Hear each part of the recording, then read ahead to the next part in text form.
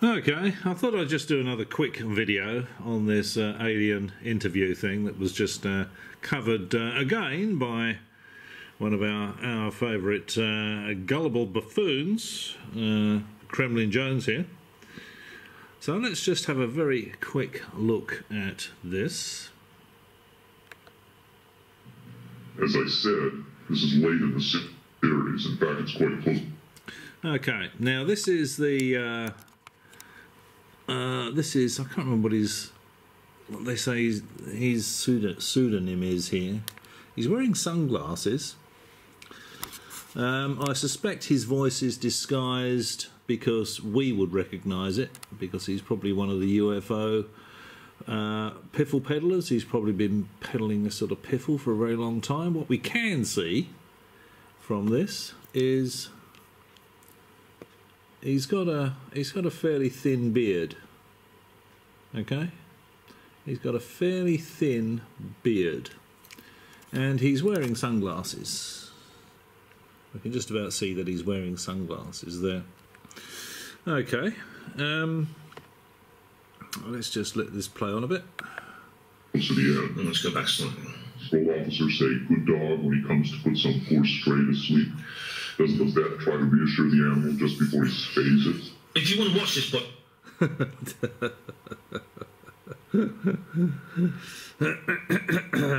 okay, so I think uh, I think this is one of the well-known uh, UFO piffle peddlers, and I think that's why his voice is disguised. I think that's why he's in silhouette. Obviously, the alien is a fake because it's uh, extremely dark. There's no sound, the sort of thing you'd pick up on, you know. People would say, "Well, that's that that that that sound is you know from a movie." You know, if there was any chirping of the alien or anything like that, you know, the alien apparently says it's from the Pleiades. Why doesn't the alien call its home star system? why, why does the alien call its home star system what we call it? Why wouldn't he say he's from so and so? You would know it as the Ple- Pleiades. Pleiades. And uh, okay, well, I'm just going to uh, get a better view of this guy. And there's a couple of other points that I would like to make. I think, I, I, I think, I think I know who this is. Okay, so let's just just move it on a bit. Okay, we'll get back to uh, who I think it is and why I think it, it is that particular person in a minute. But let's just have a quick look at this. the move usually use. It's usually like they have a. It's usually like a glove puppet, so it has a place. Let's just see if we can see this any better. No, we can't really. So I'll turn the brightness right up on it. Um, I don't think we ever see this, whatever this is. Is this supposed to be a hand? We never see this open and close. Um, I think I said before when I did a video about this, it's uh, it's probably a rubber alien head uh, with a hand inside it. I mean, Ben Emlyn Jones says, well, you know, it's probably someone in a black in, in black behind it manipulating it, but you'd be able to see that. Well, in this sort of lighting, you wouldn't be able to see that. You're not going to be able to see that at all, are you? They say that uh, they start uh, that the alien leans forward, and then they say, they start looking directly in its eyes with a torch. Now, if the room is blacked out, uh, supposedly because it, uh, you know, the the alien can't stand light, and where it comes from is a, is very dark. It's a very dark environment. That's why it's got the really big eyes, um, and they're they're keeping the room dark for its comfort. Uh, shining a torch in its eyes is not really going to be the way the way to go, is it?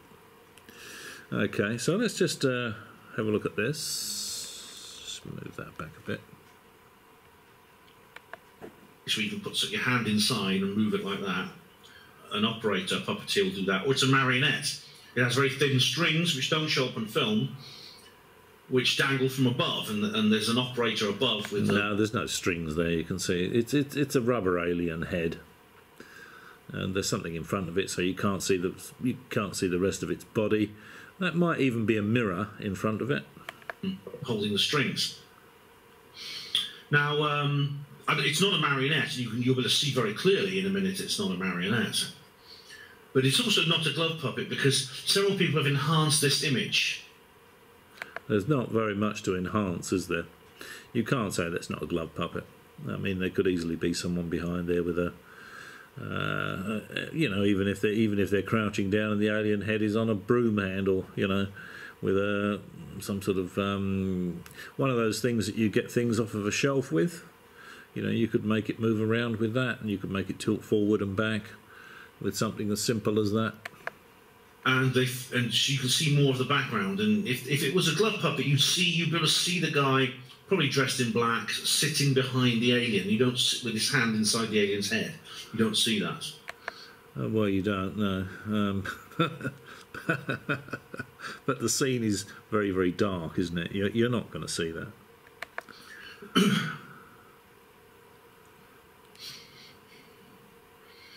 You see, there's the that. You see, I'm, I'm not sure this. It's a, this electronic device. I've never seen anything like that before. It looks to me that looks like an ECG. If the creature has a heart, it may be monitoring the creature's heartbeat. This thing here is talking about. Now, what do I think this is? This is, I think this is a mirror at an angle, and I think over here, According to Burlington, you know, the creature's eyes narrow and move slightly. and I think over here, out of shot, so you can't see it, is an oscilloscope. Now, late, later on, Ben says to this other guy, this uh, the, the second-hand car salesman, "I've never seen any medical equipment like that." And he said, "No, he's done deep dive research into it, and there's there's no piece of medical equipment that will that, that will do this." And of course, an oscilloscope isn't a piece of medical equipment; it's a piece of electronic test equipment. And I've got one here. Actually, I'll I'll demonstrate this. I'll demonstrate this effect. But this is not looking directly at the oscilloscope. This is a mirror, I think, at an angle across the table like that. And I think the oscilloscope is out of shot over there, and this is just reflecting what's shown on the oscilloscope. And uh, I can I can show you I can, I can duplicate that. You, get actual uh, movement in the creature's eyes. You, see, you do see actually the, the eyelid comes down slightly there. Very- Well, yeah, but if it's a rubber alien head, why not?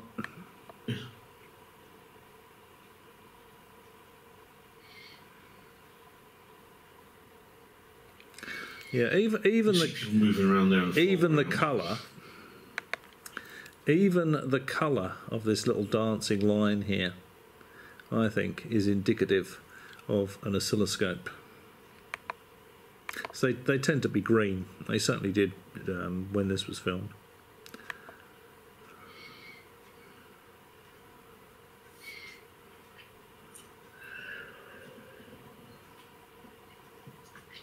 I was going to say this is fair use, but I mean, I'm not, not exactly sure who I say it's fair use. I mean, fair use related to. I mean, who is the who is the um, Well, no one's admitted to making it, so yeah, yeah, you can you, you can use it to your heart's content, and that's a better indication there. I think that this is actually a green vertical line.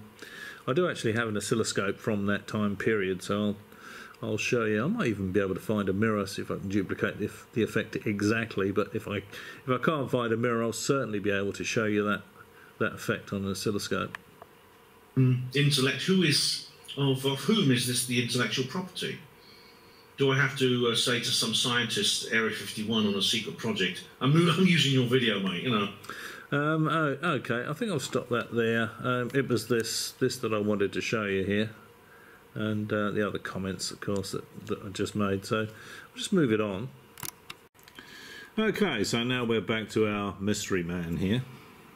Allow the voices of the project per- Now remember, he's got a. You know, you can see he's got a fairly thin beard. See that on the side of his face there? Fairly thin beard.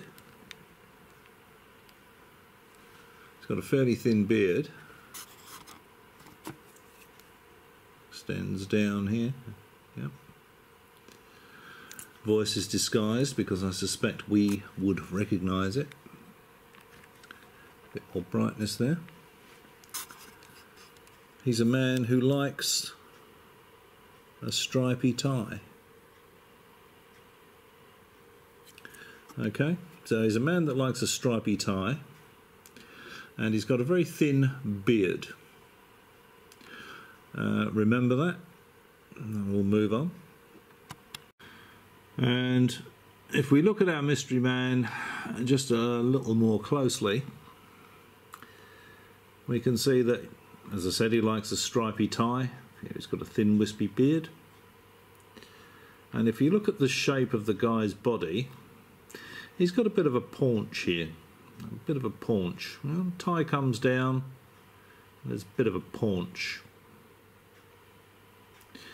Okay. Now, uh, this is who I think this is.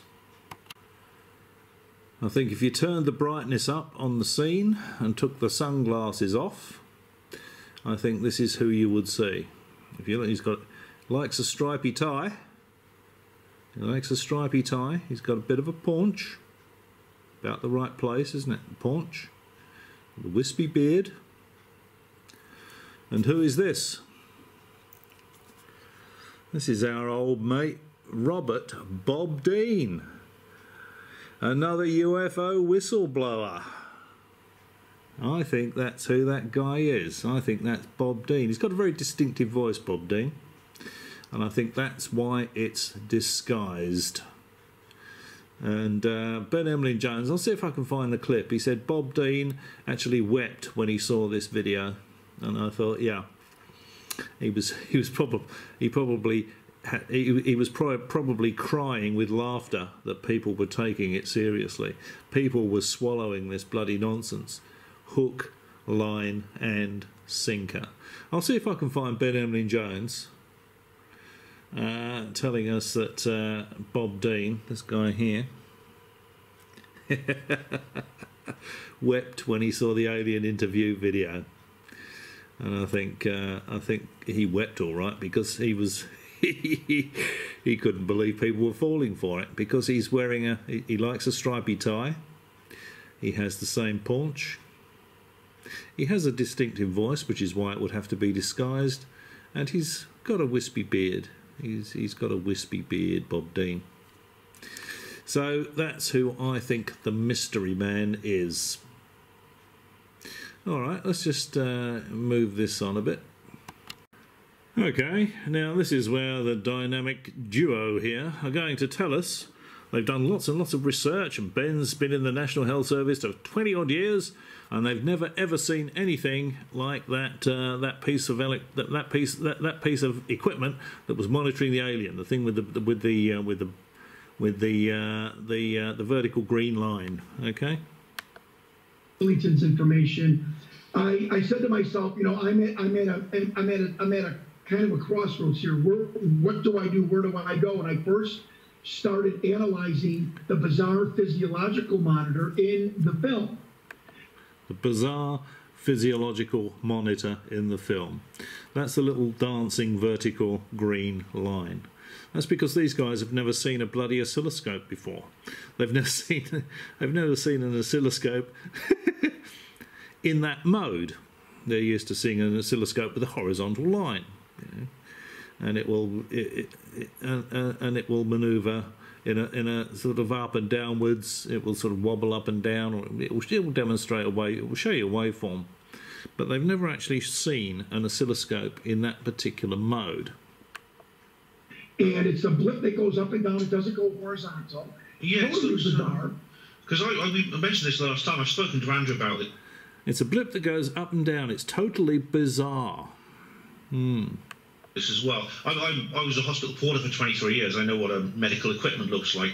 This is clearly some kind of electronic device, um, and the blip makes me think it's a monitoring some kind of heartbeat. um, if this creature has a heart, it's right, it doesn't. So, uh, but it doesn't look like any I'm familiar with. So I talked to Jaime Maussan, and, he, and who's a journalist in Mexico, that he mm. took this film Good old Jaime. years ago. Yeah, to 15 heart, 13 cardiologists and heart surgeons.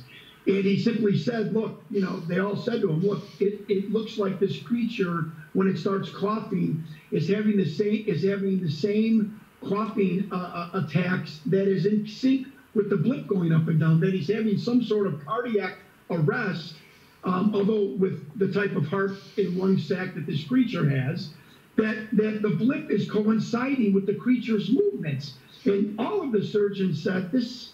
I find that hard to believe that somebody working some sort of laser or the or the blip can also be in sync with the puppeteer, where they could have it where it would fool 13 cardiologists that this being is having a fake heart attack. So Uh, well, you could actually uh, you can actually drive the oscilloscope with an audio signal, and just somebody talking in the room, or making a noise in the room, or touching the, a, a probe on the Y amplifier input will will will will, will uh, provide that that that moving vertical line, and uh, I'll give you a demonstration of that uh, shortly. And you can make it in time with anything you want. It's easy. They're looking at it from a medical point of view, and of course, it's not a medical piece of equipment. It's a, it's an electronic test piece of test equipment. The only reason it's in there is because the movie, the the alien interview film, is a fake. It's faked. That's why they're using a rubber alien. That's why they're using an oscilloscope to, to, to give you the vertical trace. It's not a piece of medical equipment at all because the whole thing is a put up job. That was Yeah. really interesting. Yeah. So It's, it's, it has a seizure. It sort of like it starts jerking Right. its head backwards and forwards. Of course, according to the skeptics, you know, there's a there's a it's just a guy with a hand inside the, the head moving it like that, like a glove puppet. But of course, then you see, like you say, the uh, what, however this machine works, and we don't know what kind of anatomy this creature has. Does it have lungs like we do, or a heart like we do? Um, Right. Whatever it is, that monitor is clearly designed, probably designed Right. specifically for that species. well, Yeah, run of the mill oscilloscope. Yeah, it, it- it suddenly becomes a uh, a specifically designed special piece of equipment for that particular species. Absolute bloody rubbish, complete and utter nonsense. you said that. that which leads me to, you know, I, then I said, okay, I, I got Andrew, I got uh, Jaime's research. I that not going to cut it. Not going to cut it. I have to go further. So I bet. Yeah, yeah, he's right there. It really doesn't cut it. And uh, I'll I'll give you a demonstration, and uh, I'll. I'll uh, I'll show you what the green vertical line and uh, you know ma- making it go up and down. I'll show you how easy that is to do with a piece of electronic test equipment, because the whole thing is faked, and that's what they used to fake it. They used a rubber alien and an oscilloscope. Okay, let's see if we can get to the demonstration. Oh, hang on, let's see if I can find the bit where he's talking about Bob Dean weeping. yeah, I. Um, there's been a bit of a break actually between the last bit and this bit, but um, I don't know if I put this bit in or not. Where he found three PhDs. Designed, probably designed specifically for that species. Well, that's And funny you is. said that. That which Designed specifically for that species, yeah, sure. leads me to, you know, I, then I said, okay, I, I got Andrew, I've got uh, Jaime's research. I that not going to cut it. Not going to cut it. I have to go further. So I've been doing this mentality in every aspect of the video, and I found three PhDs that did the the uh, the history of heart monitors. I contacted them.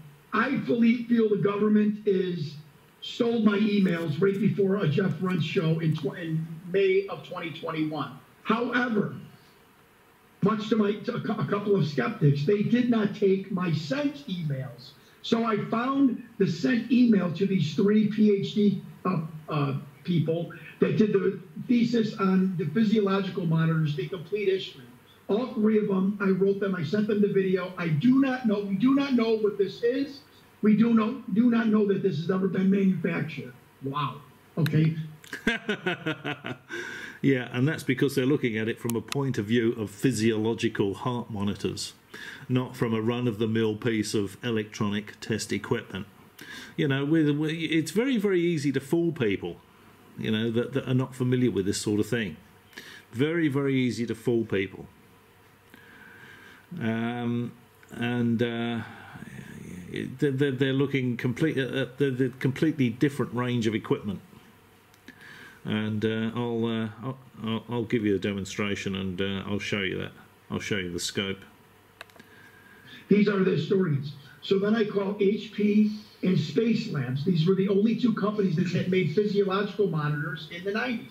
I talked to I talked to people in their physiological engineering department, very seasoned veteran engineers. Both men told me, I've never seen that. I've never I've never um, saw the designs for that. That's not manufactured then, and it's not manufactured. This is 2019. I'm like, well, wait a minute. I've got physiological monitor experts that are telling me they have no idea what I'm looking at. The person at Hewlett Packard said, well, it sounds like a one off. I said, well, what is a one off? And he said, if you had a problem and you didn't have a, a device to help with your problem, a bulldozer to help you dig a hole, or a monitor or a tester to see if you're picking up gold in the ground, or, you know, he said you would design what's called a one up. And that's a device that you would design and build to simply help you figure out or monitor a, a, a problem you have in, in, the scientific community or whatever. And I said, would you build a special monitor to uh, monitor, would you build a special device, a one-up, to monitor a very bizarre alien heart? And he went, yeah, I would. She didn't laugh at me. And I went, I covered the phone and went, oh my God, I don't believe what's happening here. And that really that's when I fell down the down the rabbit hole of something is wrong. Let me go back to mm-hmm. on the bottom of this film is DNI twenty seven. Yeah. Okay. So there you go. So there's uh, there's Ben and this other guy here, Jon Stewart. Uh, discussing how uh, uh, how uh, impossible it is to have this, uh, how no one's ever seen, none of these medical people, none of these engineers, these PhDs, have ever seen a device that can produce a uh, flickering vertical green line. Personally, I've never heard anything quite so ridiculous. So I think I'll just get on with the demonstration, and I'll show I'll show you myself um, producing exactly the same effect.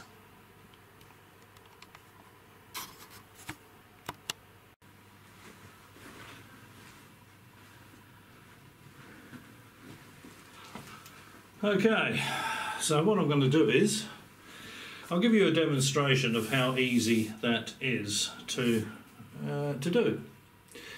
So I can't really get the lighting right, but you know, I haven't got a mirror, so I'm just going to have to show you the scope.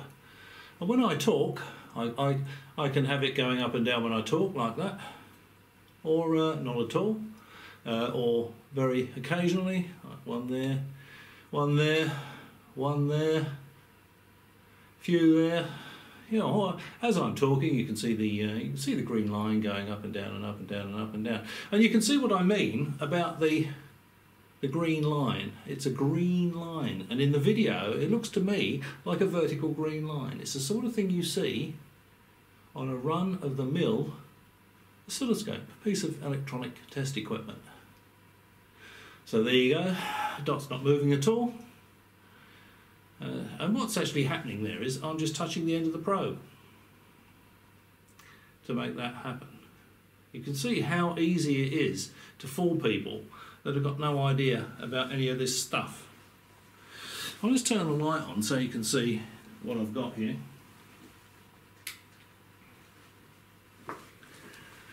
There you go. This is a run-of-the-mill dual trace uh, oscilloscope.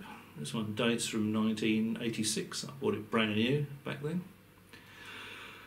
Um, and uh, all that, with, with these things, you can actually you can modulate the X and the Y amplifiers separately. So you can form different patterns if you want. And all I've done is I've got the X amplifier there doing nothing at all.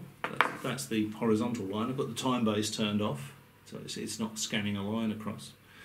And all I'm doing is modulating the Y amplifier, the vertical axis amplifier, with a bit of noise that my body's picking up from the air. You can see. There's the uh, there's your there's your impossible to achieve. No PhDs can understand it. Vertical line.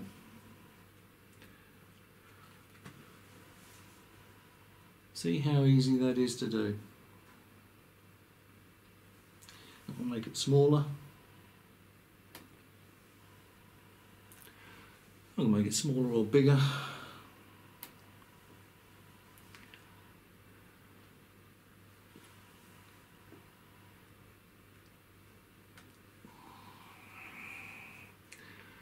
See how easy that is to do.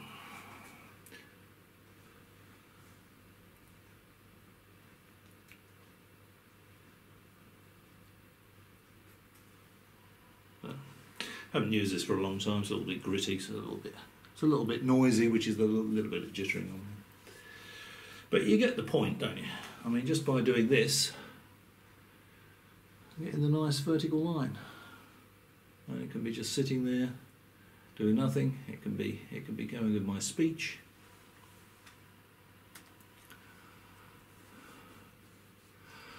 One, two, three, four, five, six, seven, eight, nine, ten. Uh, it can it can not be going with my speech. One, two, three, four, five, six, seven, eight, nine, ten. One, two, three, one, two, three, one, two, three, one, two, three, one, two, three, one, two, three. See how easy that is to do. Because the alien interview video is a fake. They used a piece of good old electronic run of the mill electronic test equipment to do the vertical line effect. Um, rubber, rubber alien head, you know, someone manipulating it from the inside, that would explain how it can sort of move. How the actual eyebrow, if you like, can move. I'm not sure I saw that, but if it's a rubber head, it's going to be flexible, it's going to move with someone manipulating it from the inside. The picture is so dark for that reason. You know, if, if it was like this, you can see detail in the picture. You'd be able to see what was going on. It's dark so that you can't. We can't hear the alien because no one knows what an alien sounds like. And if they try to put sound on for the alien, if they try to put audio on for the alien, it's people are going to laugh at it. And of course, we've got Bob Dean in silhouette, whose voice is disguised because we'd all recognise it. We can see his paunch is the same. Uh, the mystery man's paunch is the same as Mr. Dean's. The style of tie is the same as Mr. Dean's. You know, he likes a stripy tie. He's got a, he's got the wispy beard. You can see that in silhouette. So it's a fake.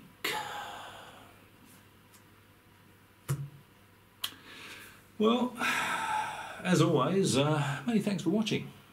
Maybe I'll catch you again.